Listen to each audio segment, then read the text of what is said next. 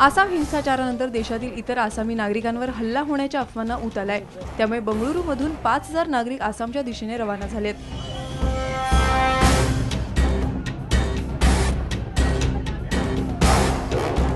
पण अफवांवर विश्वास ठेवू नका असं आवाहन केंद्रीय गृहमंत्री सुशीलकुमार शिंदे यांनी केलंय.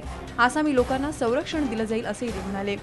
कोई रूमर फैलाता होगा तो इन्फॉर्मेशन इमीडिएटली दे दो ऐसा चीफ मिनिस्टर को एक अपील करने को बोला है और इमीडिएट एक्शन लेने के लिए भी कहा है। पंतप्रधान मनमोहन सिंग आणि सुशीलकुमार शिंदे यांनी या संदर्भात कर्नाटकचे मुख्यमंत्री जगदीश शेट्टर यांच्याशी चर्चा केली आहे. प्रधानमंत्री जी ने भी कल मुख्यमंत्री से बात की है। मैंने भी कर्नाटक के मुख्यमंत्री से बात की है।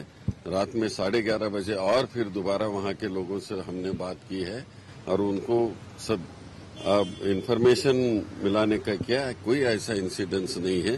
तो भी हमने बोला कि जो उस तरह के स्टेशन पर जो भीड़ हो गई है उसके लिए ज़्यादा ट्रेनें लगाने को बोले हैं। तर अशा घटनांना परकीय शक्तींची मदत मिळत असल्याचं सांगून कर्नाटक सरकारने आसामी लोकांचं संरक्षण करावं असं भाजपचे राष्ट्रीय अध्यक्ष नितीन गडकरी यांनी सांगितलंय.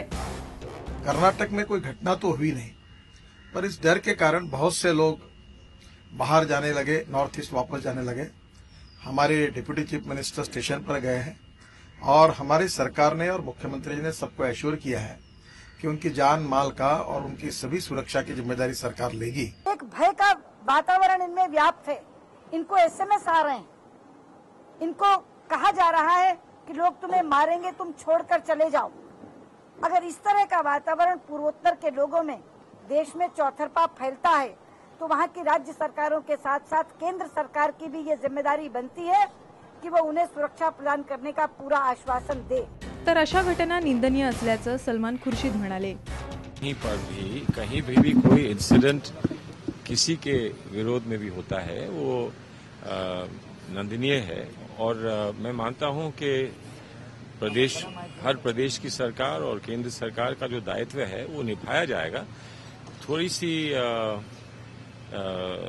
इसमें बात को बढ़ावा ना दिया जाए। कोई बात कहीं से रिपोर्ट होती है, उस पर होम मिनिस्ट्री, जो उचित कार्रवाई करनी चाहिए, वो उचित कार्रवाई होम मिनिस्ट्री करेगी।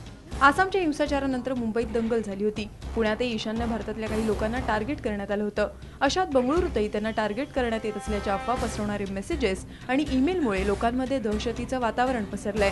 आता ही परिस्थिती नियंत्रणात आणून अस्थिरता दूर करण्याची जबाबदारी सरकारला उचलावी लागणार आहे.